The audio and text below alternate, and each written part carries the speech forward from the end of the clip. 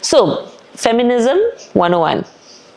Um, men and women, if you understand what feminism means, you will actually realize that um, everyone would would be a feminist, would want to be a feminist.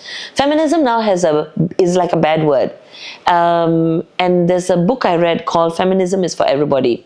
And that book uh, explains how uh, feminism in the US started and how it then eventually went into academics. So it's now sort of cloistered in that area and it's talked about in that area, but it's not it hasn't permeated into society so that people don't uh, it hasn't grown up as a value that we should all understand.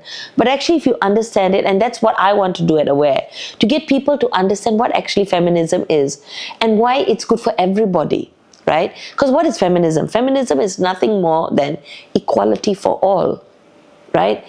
And it's about understanding why there is no equality. And if you understand why there's no equality, first of all, recognizing the inequalities, understanding why it got there, then you will immediately see why feminists are asking for change.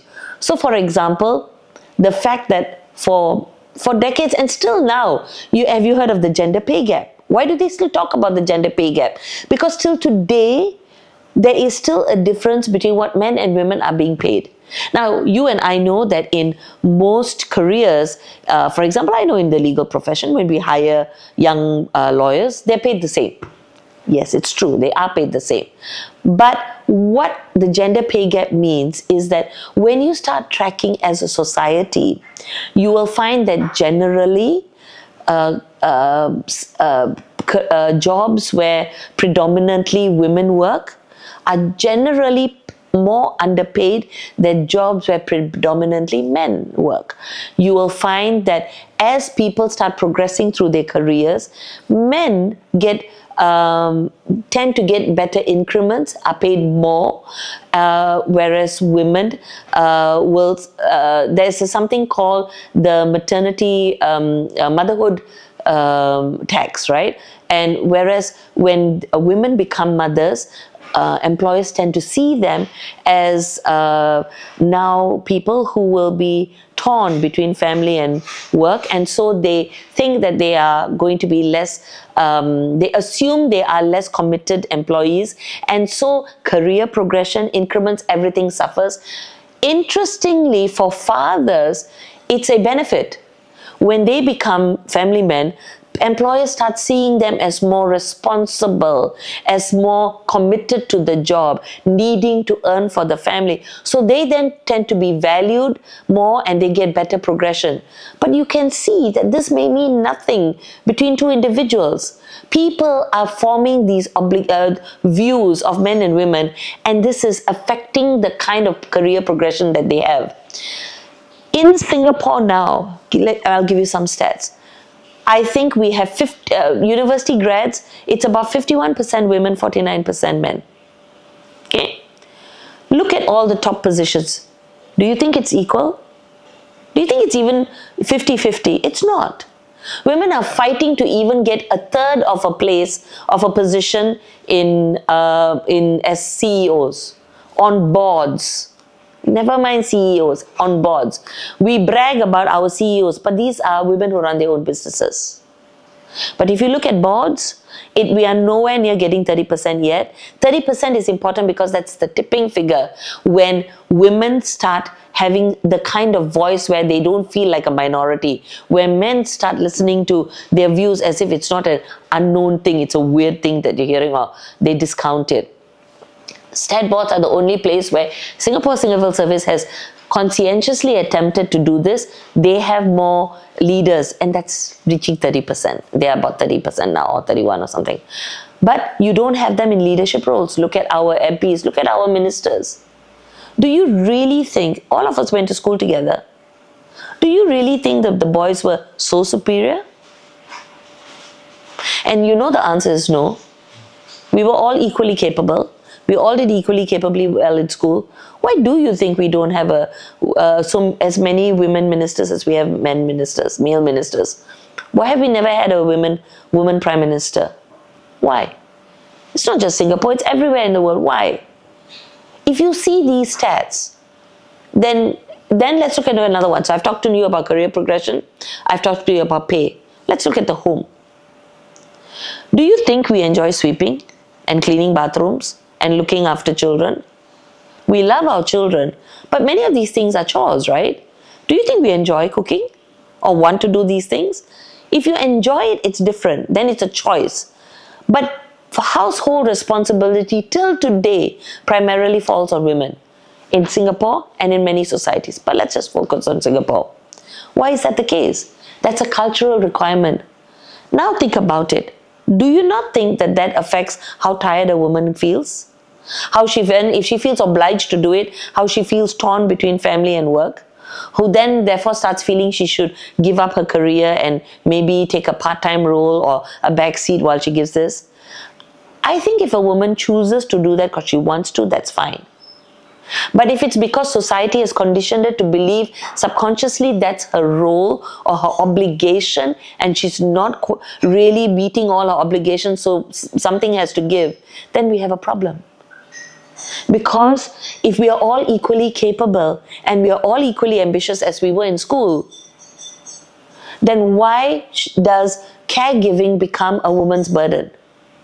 Why is it when our parents grow old, it's usually the single daughters or the married wives whose job it is to look after the elderly? And when I say look after, even when you have maids, whose responsibility it is, is it to manage the maid? To handle the, uh, when the groceries are done, to handle the chores that the maid does, how the children are taken to school and blah, blah. All these things fall on the woman. All of these things contribute to why women don't have equality, gender equality yet. And that's why, that's what feminism is, is, is fighting for. It's fighting for equality for everyone. These things happen because, you know, centuries ago, it was a very much male dominated society. You have to go back into history, those things, I'm not going to go there. But it grew, it developed where men ran societies. And when men ran societies, they created structures and everything happened in a way in which it helped them to progress. The Old Boys Network is a thing. The reason why board members are all men mostly is because it's who knows who, who plays golf with who, and which friend you will recommend. That's why you need affirmative action to force boards to find a woman candidate. Because if you come and tell me that there aren't women who are equally qualified, I'm telling you, you are blind. You are just not seeing them. You are under underscoring their capability. These are the ways in which you start building gender equality. You have to start in small ways.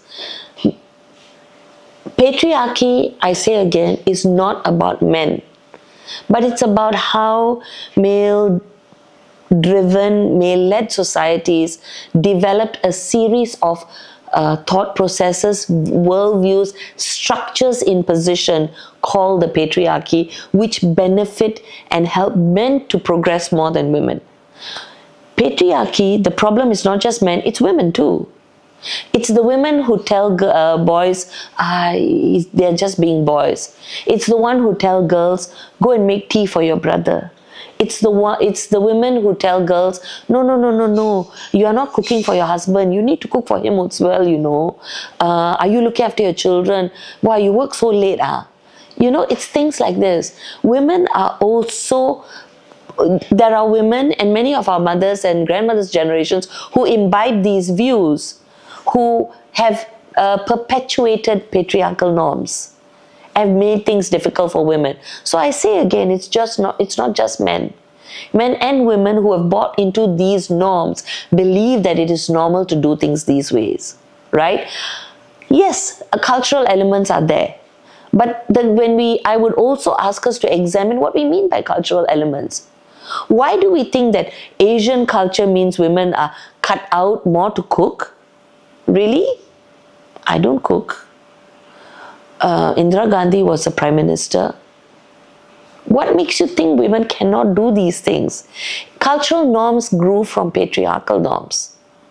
They, they shaped the kind of cultural norms we have. But Asian these Asian values, Asian norms were also all uh, shaped by patriarchal norms. Now, the Western countries threw off these shackles earlier. If you look at their cultural norms in the 50s, women were told to dress up and be beautiful when your husband comes home and with makeup on and the food ready. And please don't tell him about your day at work because it is he's too stressed after a day at work. You need to be listening to him, get him a drink when he comes home, settle him down, hear what his day was like. This is what white women in 50s America were told. Right? It's not different from the kind of cultural norms we grew up with. So that's what by way of saying it's not cultural so much as patriarchy that that has influenced the kind of cultural norms we have. But you have all got wives, mothers, sisters, daughters. Do you want your daughters to feel they don't have as many opportunities, that they're equally qualified, but generally they have to work harder to be heard in a meeting to gain an advantage? I'll give you simple examples. In my previous job, my boss, who was a man, would, um, and there was a younger guy le leading a different department. But because he was a guy, if he said something, so we were at loggerheads over something, he would come and try and get me to back down because he thought as a woman I would back down easier. Not because of anything else, because that guy was aggressive and firm, and I would stand my ground, but he would seem to think that I should, he would come and ask of me things he wouldn't dream of asking that guy to do. Right? if we I, I had one one senior member not in my team in a different department who had the unmitigated audacity to call me doll i snapped at him midstream in an argument with him and told him off for calling me a doll he thought it was funny right till today in so many organizations women still struggle to be heard and to be taken given the same level of understanding. If we are firm, you are seen as, oh, she's damn aggressive. Right? But men are seen to be strong. The subtle things you work against as a woman trying to get a job. Because you become a mother. You're trying to get pregnant. You know, the fear that you are not going to be taken seriously. So these are the patriarchal norms and thinking that have influenced the way uh, careers develop and people work. That's what feminism is about. It's about trying to get people to see that, hey, this is just not fair, right? You both decide as a couple who is earning more. If somebody wants to take a back seat in a career, it should be a choice, not an expectation. It should not be an expectation. Till today, women carry, I told you just now, the, the major caregiving burden in the home. It shouldn't be. Why should it be? Both of you should be equally responsible for ensuring are groceries in the house, that the house is clean, that the children are being educated and well brought up. It should be both your jobs, not her job. And you as the man are like willing to be led and she will do la. But that requires mindset change. That's what the work of organizations like AWARE is about. Getting people to see that this mindset change is important. Another interesting one, masculinity masculinity is not a bad word. And a lot of men get very angry when women use these words because they feel attacked, they feel defensive. But it's not. What we mean is that patriarchy has also not served men well. Patriarchy, as much as it has put women in a subservient position in many places, or has created structures that have put women in places where they are struggling to be heard and recognized and seen, it has also forced men into positions where they feel they have to be dominant, they feel they have to be aggressive, they feel they have to be a particular way to be successful, to be leaders. Masculinity, these unhealthy masculinity traits are also not working for men. Even in the research has been done that shows that even amongst men, there are top dogs and there are those who are suffering because of these patriarchal norms. Because these masculinities are taught in a way that the boys who are gentler, the boys who want different things in life, the boys who think it's uh, it's uh, who have different interests are made to feel lesser than are made are, are sometimes bullied, who are made to feel like they need to man up, as opposed to being valued for the human being that they are. So masculinities are not serving men either. The ideas about femininity is not are not serving women, and the ideas about masculinities are not serving men. So actually, at Aware, we're going to start a big piece of research next year to examine this. And we want to do this with men because we need to also solve this problem. You have to solve the problem for both. You can't solve equality without solving the problem for both genders. So, if you think it's fair that a woman who is equally qualified as a man should have an opportunity to be a board member, to be a manager, to be a VP, to be a CEO, to be uh, in, in, in professions where men and women are equally represented, and you think your daughters should have that chance, then you should be a feminist and fighting for this equality. It's in your interest. If you think your son, who may be interested in being a dancer, who may be interested in being a writer, or who is not interested in being uh, army general or a CEO, but who is interested in music. Maybe he's gay, maybe he's straight, whatever, but he has a softer nature. He is a more sensitive soul that he shouldn't be bullied, that people shouldn't bully and talk down to him because of that. If you think that, then you're a feminist.